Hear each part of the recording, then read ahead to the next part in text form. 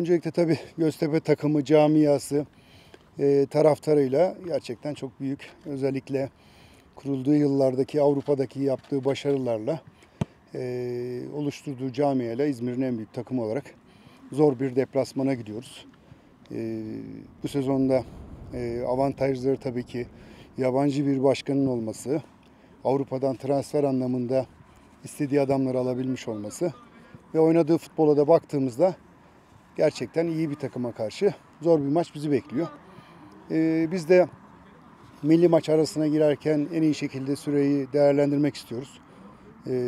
3 puan adına sahadaki oyun anlayışımız, sistemimiz ve özellikle rakibe karşı yapacağımız analizlerle uygulayacağımız taktiği en iyi şekilde yapıp oradan puanlarla dönerek taraftarımızı mutlu etmek istiyoruz.